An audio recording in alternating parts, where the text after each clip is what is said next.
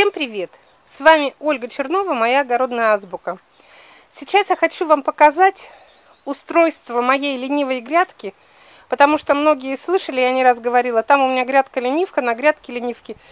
Я покажу, расскажу, что такое грядка-ленивка, ну, в моем исполнении, для чего я ее делаю и все остальное.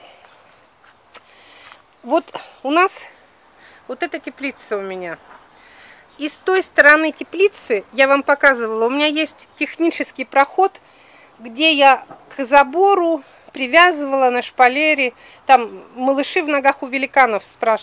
ну, снимала видео.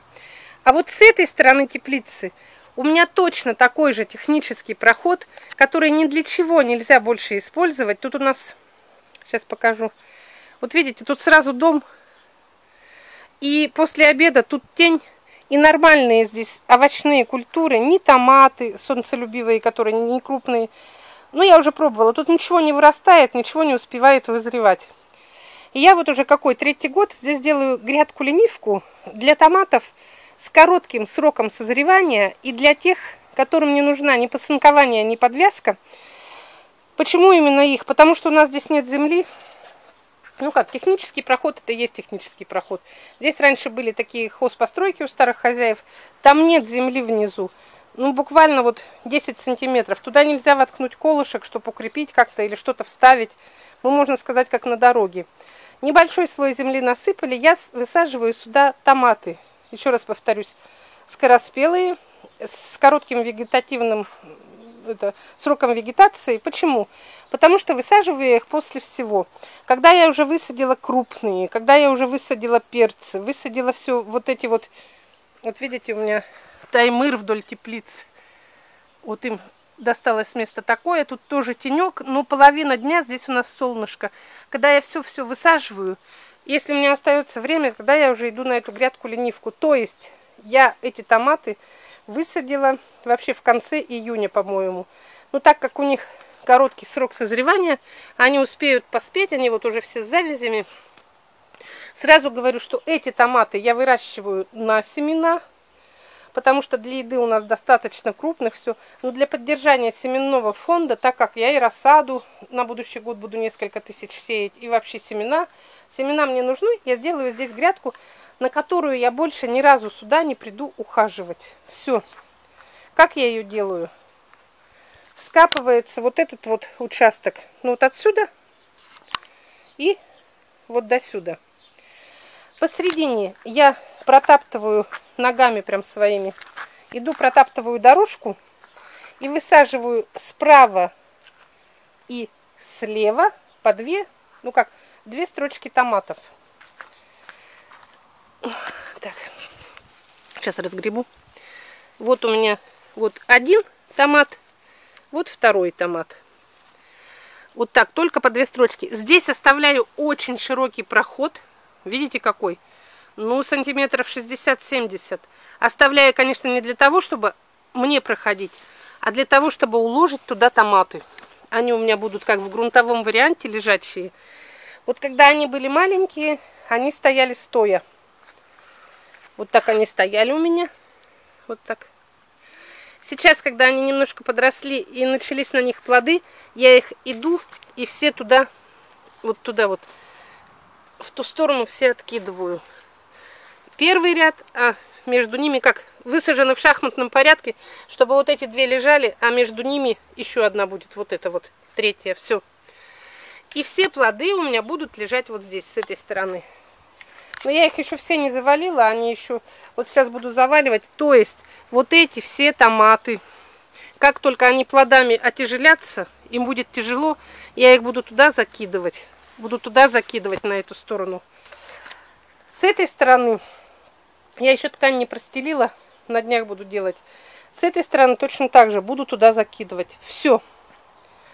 Больше я ничего здесь делать не буду, так как я застелила там ткань там травы не будет, там травы не будет. Здесь дорожка, если даже здесь что-то вырастет. Видели я здесь так? Я быстро тут тяпкой прошла, всю траву уничтожила. У меня здесь у них стоит на постоянной основе вот эта штука.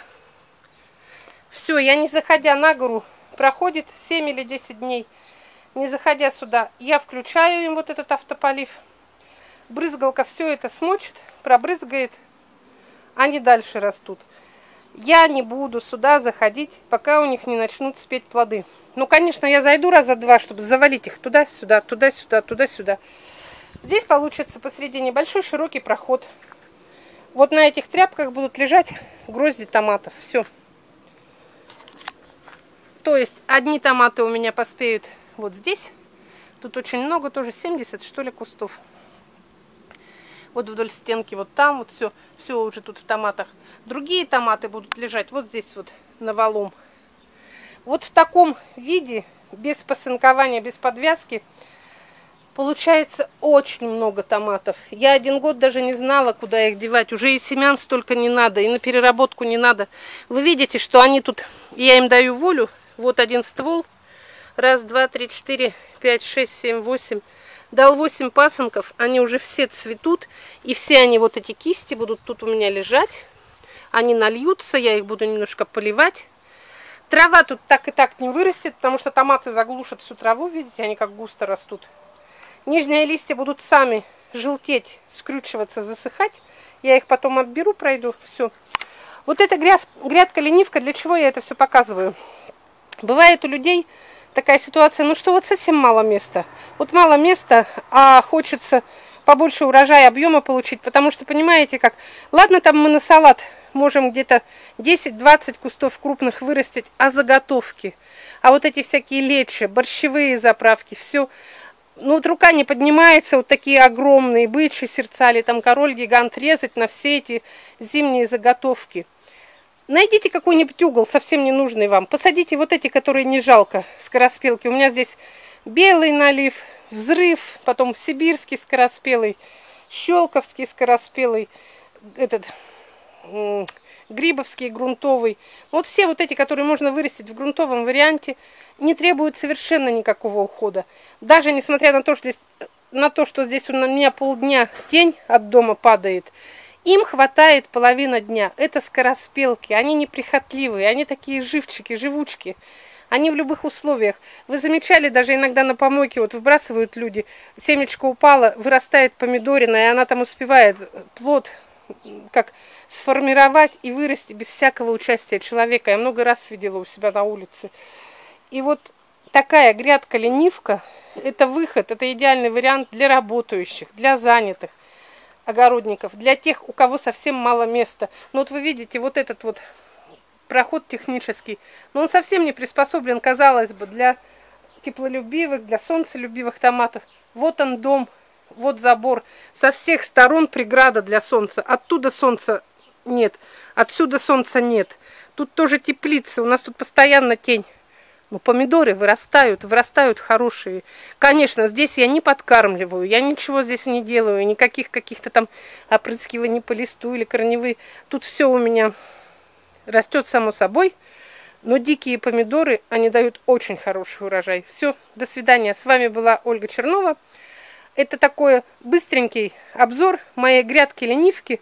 Но вот эта ленивая грядка, она может, вы можете таким образом вырастить половину своего урожая без всяких хлопот. Тем более, если вот такую вот подключить брызгалку, не надо не поливать. Тканью затянули дорожки, можно и среднюю затянуть. Не поливать, не полоть, не пасынковать, не подвязывать. А что тогда делать? Ну, приходить за урожаем. Все, до свидания.